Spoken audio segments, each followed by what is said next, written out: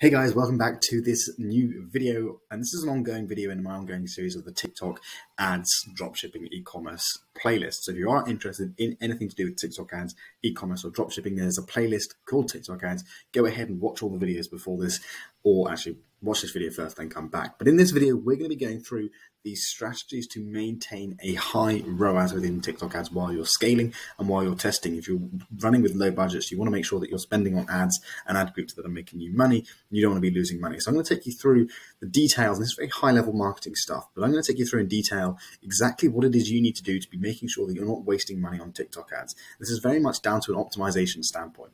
Now, on this channel, I'm not trying to sell you anything. If you're any, if you're interested in anything to do with e-commerce, I'm going to share all of it on this. I'm not holding anything back.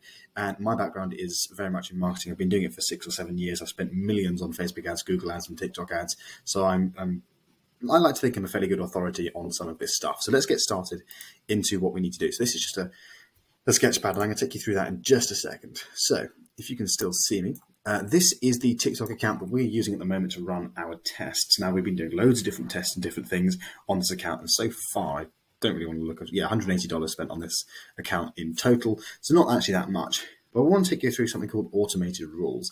And that's going to be the primary focus of today's video.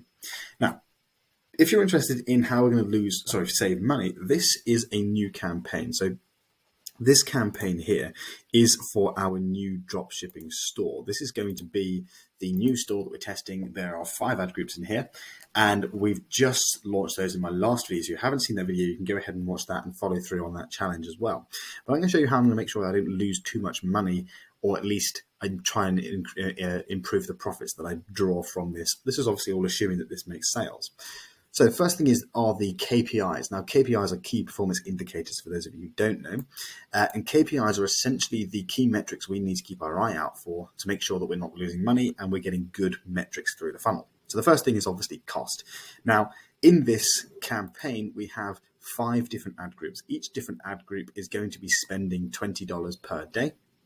And I need to make sure that these ad groups aren't overspending on something that's not profitable. Now, I think my break even for this product is $25. So I need to make sure that I'm getting $25 or less cost per complete payment. Um, and obviously, if we break even, we can make money on the back end. So, how are we going to do that? Well, the first thing is we look at the cost. If the cost has spent over $5, we can start to look at the other metrics. First of all, if you spend anything less than $5, you can't make a justified decision on anything. There's just not enough data. Now, there are some caveats to that. For example, if you spend $3, $4, and you just see things not working, you can always turn it off. You know, it, it is a flexible boundary, but I usually recommend five dollars minimum.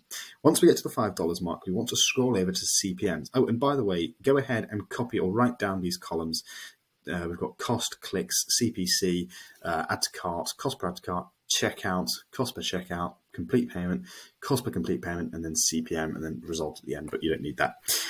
Now, we're going to look at the CPMs. CPMs are very important, but they're not you know, the be all or end all. If our CPM is anything under six or seven dollars, we're okay. Ideally, for some of these audiences, we should be seeing around a dollar, two dollars CPM. If we're seeing a too high CPM, that tells us that our ads are either not resonating well with the audience, and if they're not, we can double check that by looking at CTR, and we can double check that by looking at our cost per click. If the CPM is high, it could also be down to the audience. You could be targeting a very expensive audience. For example, I try to market or I set up some tests to market my SaaS company, uh, which is in the e-commerce space. So for you guys, it's in this space, and that's this campaign here. If you scroll over, you can see the CPM is almost seven dollars, and the cost per click on this was six dollars twenty-two. This is a lead generation one, one dollar fifty cost per click, and these are decent ads. You know, it does well on organic TikTok, but just because the audience is much more expensive, then we compare it to one of these ads, you know, 15, 20 cents cost per click. So very different. And that's because of the ad and because of the audience we're targeting. So like I say, let's come back and we'll just look at this specific campaign. So once the CPM's in the level that we think is okay, there's not much we can do about it. Let's just sort of keep that in mind. The next thing we want to look at is the cost per click. So the cost per click needs to be around 50 cents or less. Now, the reason for this is we want to optimize or at least have the most amount of traffic for our money. If we're spending over 50 cents cost per click, say for example, we're spending a dollar cost per click, right? We are going to be bringing in 50% less or half the number of people into our funnel than someone who is selling the same product with better creatives and better ads, better copy, who's getting 50 cents cost per click. So they're getting twice the number of people to their website than we are for exactly the same product just because they're running their ads better. So we need to make sure that we're only spending on ads which are bringing in a cost per click less than 50 cents. If you're getting 60 cents and you're getting good stats throughout the funnel, leave it. It's fine. Don't turn off an ad just because the cost per click's high if the other stats, deeper metrics, are doing better. But we'll get onto deeper metrics in a second. The next thing you want to look at is click-through rate. So I'll just add that to my columns. So I'm just going to add that now. Save that. So if our click-through rate is under 1%, then we've got a bit of a problem. So let's go back and have a look at one of the other campaigns and we'll we'll actually use another campaign for an example and now it doesn't make much sense because I'm going to know data. So let's look at these campaigns I was talking about earlier. These ones, you can see here, 0.3 and 0.1% click-through rate. Now, although the CPMs aren't astonishingly large, you know, if you were to target this on Facebook, you'd be looking at $40, $50 CPMs. So CPMs are cheap, but the ads are appalling. We're not getting good engagement at all on these ads, which means our cost per click is very high. We didn't get any conversions or deeper metrics in this funnel, so I turned the ads off. We only spent $16. Now, if we compare that to a campaign which did well, say for example we come into this campaign we got a 6% click-through rate on these ads. Now this is on the campaign level. Now on the ad set level there's probably and in fact we're no longer running this product so why not? Let's show you the ads uh, for this product. So we'll come in. This is the uh, free plus shipping offer we did. So free plus shipping is going to give us a very high click-through rate just because of the nature of the offer. So this is an unusual circumstance. You're not going to see 8 cents cost per click on a normal offer unless your product's really good. So we're coming to the ads here so you can see those are the ads. You don't, I'm not going to watch the videos, but we'll just drag that over. And you can see the click-through rate was 6%, 2.6 and 0%. So here's what we would do if we were running these ads again. We're no longer running this product, but if we were, we'd come in and see, well, this one's getting a 6% click-through rate. This one's getting a 2.6% click-through rate. The cost per click's basically the same, so there's no point turning one off and leaving the other on. But you know, you can see this ad is clearly a better performing ad. Now, you're probably wondering, well, how come this one's getting a 6% and a 2.6%, but the same cost? Well, that'll be because the CPMs. Um, so you can see here, the CPM is almost double what it is on this one. Actually, it's over double. Um, so that's why we're getting probably two of the, uh, yeah, about just over double click-through rate, but the same cost per click. So that's, that's how CPMs and click-through rate and cost per click balance out. So we wouldn't necessarily turn off either of these ads. You know, they're both getting very good click-through rates, but uh, CTR is a very good indicator to see if an ad's performing well. So like I said before, if the cost per click is good, then the CTR is good, you've got a winning ad. If you've got a cheap cost per click, but a low CTR, it's probably because your CPMs are cheap. Now that will work at low budgets, but as you try and scale that ad, the audience isn't responding well, so you won't be able to scale that ad as easily as an ad that was getting like a 6% click-through rate with the same cost per click. Let's go back and have a look at a different campaign. And this will give you a bit more of an insight. So if we scroll down here and we look at something a little bit more realistic uh, that you would probably see, you can see, let's look at these campaigns here. This one, this one, and the one beneath it. So one, two, three. You can see here we're getting a 20 cents, 15 cents, and 20 cents cost per click. These very standard metrics. You know, there's nothing wrong with these wouldn't turn anything off. They're all below 50 cents cost per click. They've all got a good click through rate, apart from this one, which is getting an 80 cent, 80, sorry, a 0.8% click through rate. Now, again, I'm not going to turn this ad off because I'm still getting good traffic. I'm getting good cost per clicks. It does tell me that I will need to work on my ads in the future. But right now, that's not the concern. We're looking for deeper metrics. So the next thing we look at is our add to cart cost. Now, this is where we're going to come to the sketch pad, and this is going to be a, a good 15, 20 minute long video, so bear with me. Say, for example, we're selling a product, and I'm doing this with a mouse. This is going to be difficult for $34.95, okay? And this product price has a product price of $10, okay? Which means our break even on this product, let's just make that line a little bit easier, is $20 or sorry, $25 break even average, right? I can't be asked to do you know, $24.95, but $25 is our break even. So if we spend $25 and we get a sale, we're breaking even which is fine. I'm happy to break even when I'm testing.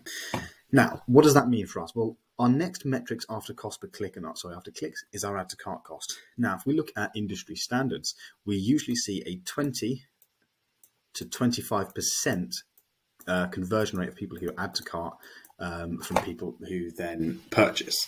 Now, If you've got a very good store, it could be higher. You could see 30 or 40%, but typically you're going to see, especially with TikTok traffic, 20 to 25%, just because it's lower quality traffic, which means if we do the math on this, 25% of 25, if I'm correct, is five.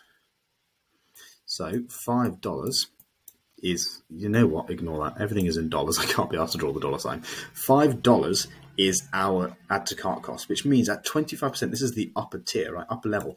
If we get the best conversion rate from add to carts, which means we need to be having a $5 add to cart to make sure we're profitable. So this is just this is more of an indicator. We don't necessarily turn off ads because we're getting higher than a five dollar add to cart. We are just wary of that ad group.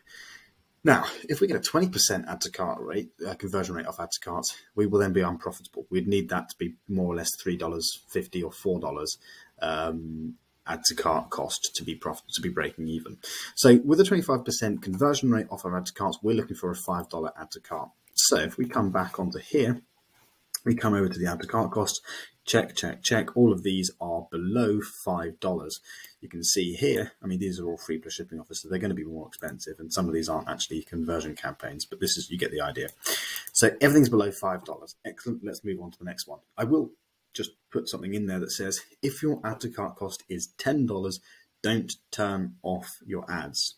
And I repeat that, don't turn off your ads because what can be happening is A, TikTok isn't tracking correctly, which is very possible, uh, or B, you're just in a very high converting vein of traffic. You know, you could see that you'll get a 50, 60% conversion rate of those add to carts.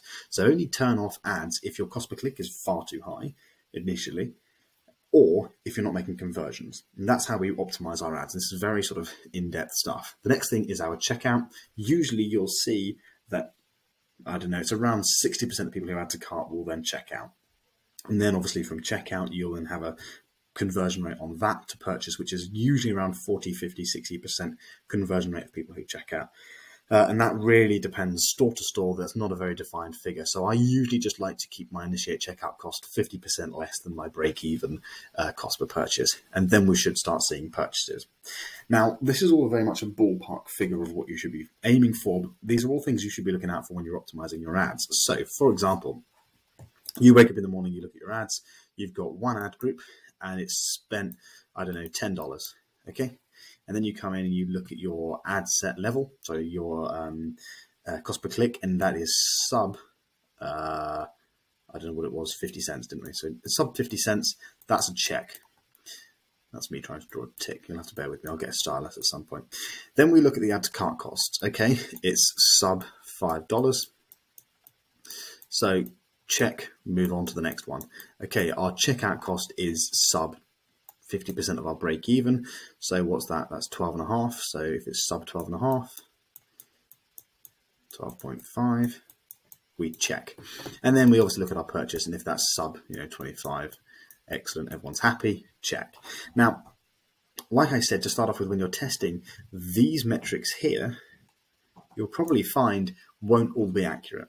This is more when you're optimizing as and you're starting to get purchases. So say, for example, we're getting, we've got five ad groups out of those tests. Every single one of those is making a purchase, but we want to make sure that we're making profit now. So what we do is we go into the ad group level and we say, okay, are all of my ads making less than five cents cost per click? Yes. If they're not, turn off the ones that are. So now we've reduced the number of ads that we're running.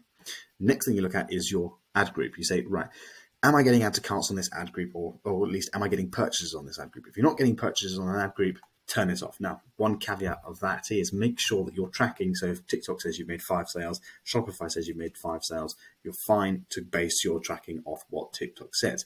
If, however, you've made 10 sales on, on uh, Shopify and TikTok only says five, take everything with a grain of salt and assume that actually each ad group has made twice the number of sales than TikTok's reporting. Other than that, you can use UTM tracking links. Things like ClickMagick are very good tools that you can use. So if you are making purchases and they're profitable, leave it on. If you're making purchases and it's not profitable, turn off the ad group. There's no point running to make to lose money. There's no point making sales to lose money. There's no point also saying, well, two or three more sales, at least I'm building data on my pixel. Your pixel and the algorithm doesn't care if you've made 12 sales or 14 sales. It's going to make very little difference. So if you're not making profit, turn it off. If you are making sales, you want to see, well, how can I improve things? Well, okay, my add to cart cost is too high or my checkout cost is too high. Well, there's nothing we can do on the ads at this point. well, there are, but there's nothing that you can do on this current ad group to increase, so to decrease your add to cart cost or your checkout cost. If your checkout cost and add to cart cost are too high, that's pointing to a deeper issue on your funnel. Right? These are all things on your funnel that need to be fixed. If you are getting expensive costs for add to cart and checkout, what's happening is you're getting a lot of traffic to your website. They're seeing your landing page. They're seeing a big old add to cart button and they're not clicking it, they're scrolling around, they're looking around, then they're leaving. They're abandoning your website. And that means you've got a problem with your add to cart, you've got a problem with your landing page, maybe it's your copy, it's not high enough converting, there's not enough people clicking the add to cart, there's not enough people trying to buy your product, you're not convincing them. And the thing is, if you think about it, right, five cents per to cart, sorry, five cents per click, you're getting quite a lot of traffic for that. What is that? That's a hundred, that's, so that's 10, uh, yeah, that's 10 people on your website is that right? Yeah, 10 people on your website who then get to look around on your website before they then add to cart. There's a reasonable amount of traffic. Now, with 5 cents cost per click, you'll probably see an add to cart cost higher than that. If, for example, you're getting a 30 cent or a 5, like a 5 cent cost per click, you're getting 100 people onto your website before one person adds to cart. That's still a key indicator that your website needs improving. If 100 people at 5 cents per click view your website and only one of them adds to cart, there's a lot of wasted traffic. There's a lot of people who could be buying that aren't. Now, again, take that with a grain of salt because on TikTok, the traffic quality is a lot less. Um, it's, the traffic quality is a lot worse. So you could see your cost per click, so your cost per add to cart being um, higher just because of that. So these are all ways of optimizing your ads and optimizing your your um, funnel. So let's just do a quick recap, okay? We'll say that everything on this, I don't know if I can delete everything again. No, delete. So we'll just do a quick recap. If you are getting expensive cost per clicks, there's a problem with the ad level or the ad group level. Anything deeper metric from add to cart to checkout to purchase, you want to look at those and that will give you key indicators whether your funnel needs improving. Now, there are things you can do with your ads to help with your conversion rates, and that will be things like offers, discounts, those sorts of things. And you can always test those out. But when you're starting off, it's really you want to mess around with your funnel or you want to uh, you want to mess around with your your ads so that's it in today's video it's quite a lot we've gone through quite a lot of detail it's a 17 minute long video um, but if you do have any questions again remember you can join my discord channel the link is down below in the description and you can go ahead and join that shoot me a question and uh, if you want, we can always chat on Instagram as well at Sebastian underscore JWB. So send me a message on Instagram as well. But until then, I will see you in the next video. And thanks for sticking around. Don't forget to subscribe, and I'll see you soon.